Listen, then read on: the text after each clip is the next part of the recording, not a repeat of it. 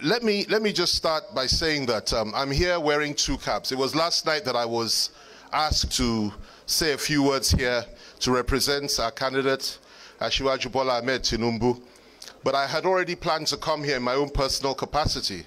So I'm speaking with two hats here. But let me start with a goodwill message from our candidate and also to launch from him. Then I'll say a few things on my own behalf. First of all, our candidate extends his tremendous respect to the author and to the subject matter of this book. It's a great book, long overdue, and it'll be very revealing to the Nigerian people precisely what the contents are. And we have always had respect for Mojeed. He's somebody of immense integrity. He's somebody that people can relate to, and he's somebody that Asiwaju has tremendous, tremendous respect for. Unlike most, he always seeks the other side of the story. And that's what makes him so special. So we are fully behind him in this. Asiwaju and his entire team, and there are others here as well, very senior members of the campaign organization are here. Um, and we're very proud of his effort as a Nigerian to come out with this great work. And the way in which he did it also speaks volumes about what a good journalist he really is. And it's our pleasure to launch this book. I will not specify the amount, but the candidate has asked me to say we will launch it with a very handsome amount of money and we will collect 10 copies to take back today. So that's that aspect, and that's the message from Asiwaju Bola Ahmed.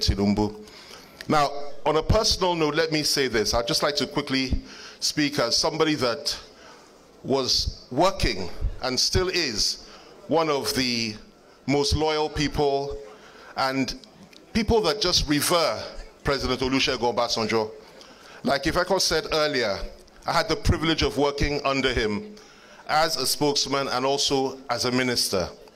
And there's nothing that has been said here that the bishop said or that has been revealed in this book about the content of his character that surprises me. And anybody that thinks that President Obasanjo looks stupid, as somebody had suggested, or he himself has suggested uh, to Chidoka and others in the past, has to be pretty stupid themselves. All you have to do is look into his eyes when he's speaking, and you'll know the depth of this man. He's extremely intelligent, very discerning, very sharp, very firm, very, very tough. And most importantly, he's very patriotic. He loves this country with a passion. And I'll give you three examples of that very briefly. The first one was when he came in and I first started interacting with him.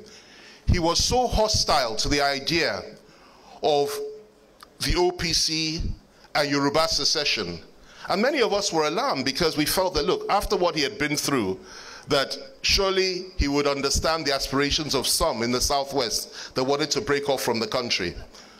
President Obasanjo asked Akin Osuntokun and I, we had not joined government at this time, on one occasion, he said we should leave the villa, leave his sitting room, because he would not hear any talk of OPC or any talk of secession or the rights of the Southwest. He was very, very firm.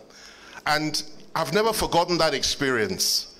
That is the measure of his love for Nigeria, even though he had been through what he went through in the hands of the military administration that had locked him up and framed him up. So that was the first one. The second one was when I was minister and um, the German ambassador came to the office. There were some issues, some aviation issues.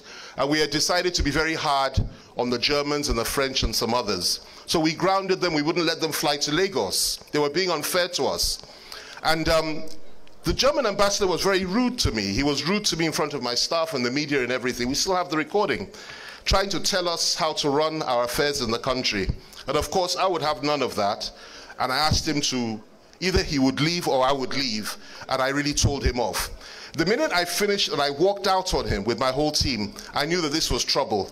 So I immediately put a, put a, a call through to the villa to report myself, so to say, to try to reach the president.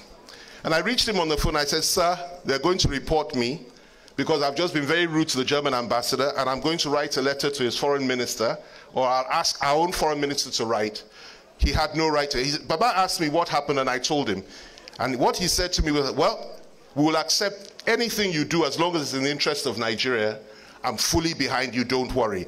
He didn't stop there.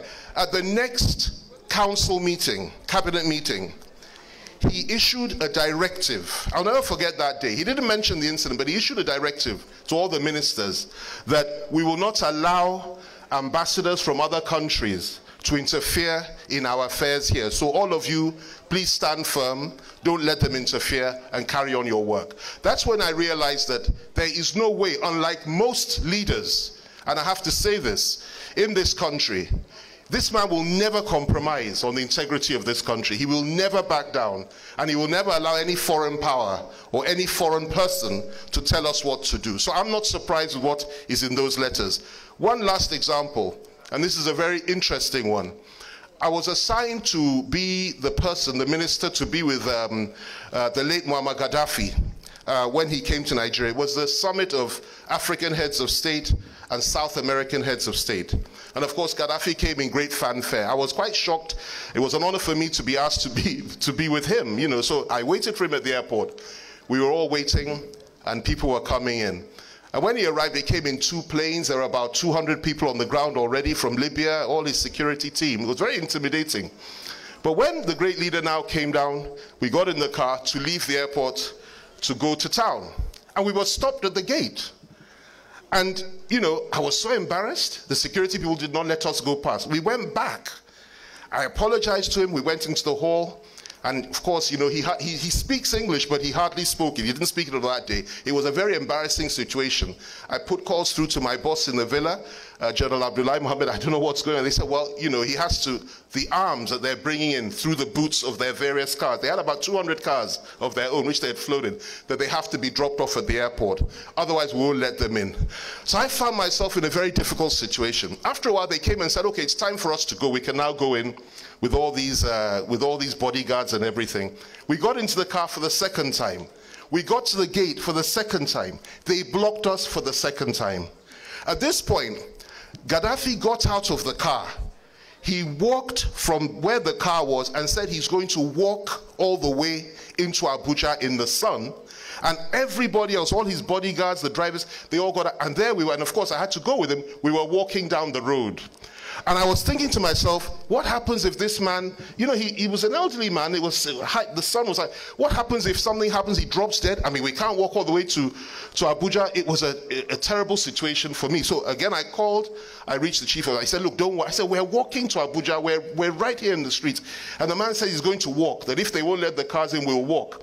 So the chief of staff said, look, don't worry, that the president is on his way to the airport and uh, he will resolve the issue. That's what saved the day. And I whispered to Gaddafi, I said, look, sir, your brother is coming here to resolve this issue right now. So please don't, let's not walk any further. He's on, he said, coming? I said, he's coming right now. He's on his way to come and solve this problem. So he said, okay, that's how he went back into the, into the waiting room. When we got back to the waiting room, within 15 minutes, the president arrived with great fanfare. And he came straight to see Gaddafi greeted him, you know, very, very, as if nothing had happened. That's what struck me. And then Mr. President now said he's going to Lagos to do something. He's coming back later in the day. And then Gaddafi now told him there were some issues. Mr. President said, don't worry, it will be resolved. And he was leaving. As he was leaving, I went after. I said, sir, what are we going to do about this? You know what Baba said to me? He said, they must drop those arms. They're not going to allow them to take them. Oh my God. So I realized we still had a problem. So I went back. I told, they said, okay, third time, let's try. Do you know they stopped us one more time after that? And until those arms were removed from the boots of those cars, we were not allowed in. It was after the arms were removed, that's when we were allowed uh, to come into town. And that's the measure of the C-in-C that we had in those days. It was an honor and a privilege to serve under you, sir. And let me tell you, Nigeria still hasn't done justice to what you have done for this country over the years.